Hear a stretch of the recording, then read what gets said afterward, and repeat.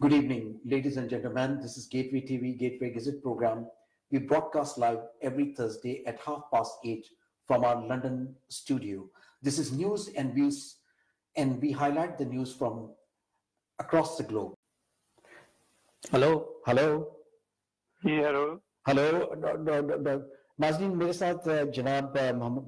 uh,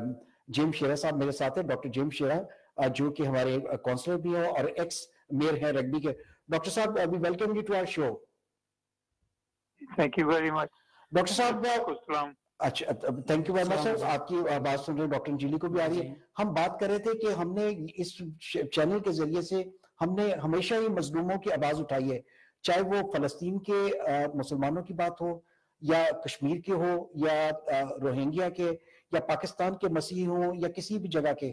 لیکن اس time میں دیکھ رہا ہوں کہ پاکستان کے جو مسیحی ہیں ان پہ ایک بڑا عذاب نازل ہوا ہوا ہے کہ وہاں پہ انہیں بہت زیادہ جو ہے ان کے ساتھ جو ہے پرسیکیوشن جو ہے، وہ بہت ہو رہی ہے۔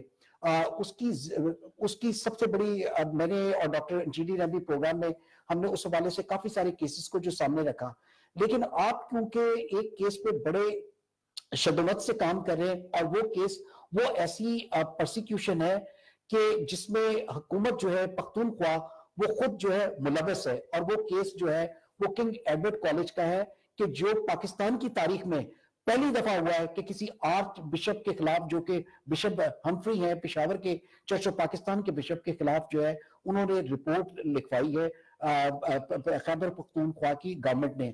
تو میں چاہتا ہوں کہ پلیز تھوڑے سے ہمارے ناظرین کو اس کیس کے بارے میں بھی بتائیے اور یہ بتائیے کہ نیا جو ہے حکمت عملی جو ہے وہ حکومت کی کیا ہے اس وقت؟ تھینک یو ویری مچ ہمیں بڑی ڈیٹیل کے ساتھ بتایا۔ پرابلم یہ ہے کہ ہم مسیح جو ہے ہم اپنے ایمان میں پکے ہیں اور ہمیں سبق سے آ جاتا ہے کہ حکمرانوں کے تابع رہو اور سبے داری کی وجہ سے ہم نہ سیاسی طور پہ نہ معاشی طور پہ نہ کلچرلی طور پہ اتنے ایڈوانس نہیں ہوتے جو ہونا چاہتے کہ ایسا نہ ہو کہ ہماری ایکشن سے ملک کو یا قوم کو کوئی نقصان پہنچے۔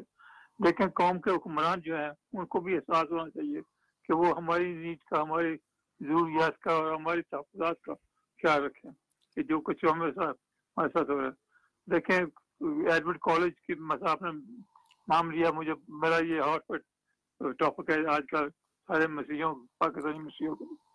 ہم نے پچھلے چھ، پانچ، چھ مہینے سے اسٹرگل کر رہے ہیں کہ جس وقت کا انہوں نے مسئلہ اٹھا، کہ ایڈمٹ کالج جو ہے وہ ہم مشن کے تحت نہیں ہے چرچ پاکستان کا نہیں ہے یہ ابھی گورنمنٹ کا ہو گیا ہوا ہے ہمیں کوئی پتہ ہی نہیں کہ گورنمنٹ کا ہو گیا کہ نہ وہ کبھی نیشنلائز ہوا ہے تو انہوں نے تصب کر کے ایسا کیا پروٹیسٹ کیا کورٹ کے فیصلے آ گئے لیکن اس کو بھی نہیں مان رہے اس کے بعد کیا کیا ہم نے تین دفعہ پرائم منسٹر کو لکھا ہے کہ یہ سر یہ بات ہو رہی ہے تو کوئی انٹروینشن کریں اس کو ریزالو کروائیں تو two thousand fourteen prime minister ایک جلسے میں تقریر کرتے ہوئے کہا، وعدہ کیا تھا کہ اگر ہماری جماعت پاور میں آ جاتی ہے تو ہم کبھی ایڈوٹ کالج کو یا ایسے جو مسیح ادارے ہیں اور لوگوں کے لیے کام کر رہے مقامی لوگوں کے لیے ایجوکیشن دوسری ٹریننگ دے رہے ہیں۔ ہم ان کا قدر کرتے ہیں، ہم ویلکم کرتے ہیں اور سپورٹ کریں گے۔ اچھا۔ وہاں پہ یہ ہے کہ یہاں پہ گورنر صاحب بیٹھے ہوئے وہ چاہتے ہیں جی بورڈ آف گورنر جو بنے کال کا اس کے under who be the chairman جو ہائر فائر کرنے کی پارٹی گورنر کے پاس ہو۔ اگر وہ اس کے پاس ہو تو پھر وہ کرسچن تو اسکول کالج نہ رہا کیونکہ نہ ہمارا اس کے اس حساب سے نمبر ون کے میں اپیل کرتا ہوں سارے مسیحوں کو کہ دعا کریں کہ اس کے لیے جو ہے خدا ان کو ہدایت دے اس کو کہے۔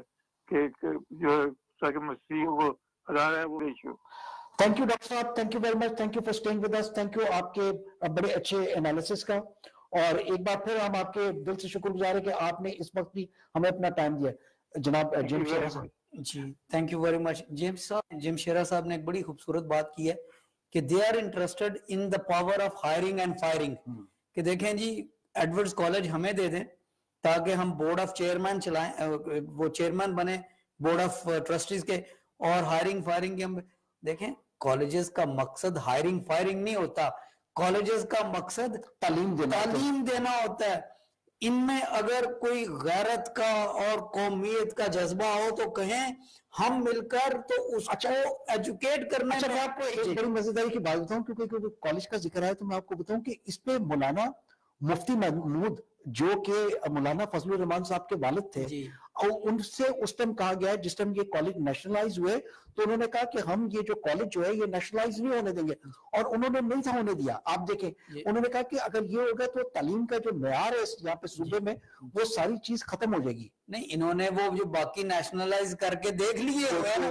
مطلب ہے دیکھیں you have nationalized Gordon college Murray college ان کا کیا حال ہوا ہے؟ How much better have you made sense then اچھا جو ایف سی کالج واپس آیا وہ یونیورسٹی بن گیا۔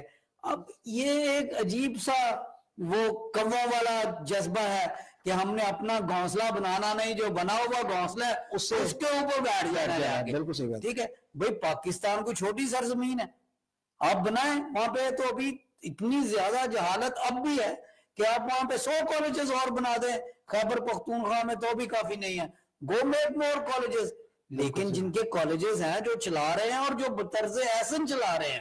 اور جنہیں ایک تجربہ تھا جنہیں یہ تجربہ تھا مطلب میں نے کہا دیکھیں آپ کی جتنی اپنا کیا کہتے ہیں آپ کی جتنے بھی بیوروکریٹس تھے یا آرمی کے جو ہائر آفیشل تھے وہ سارے کے سارے جو ہے اس کالجز میں یونیورسٹیز میں پڑھ کے آئے۔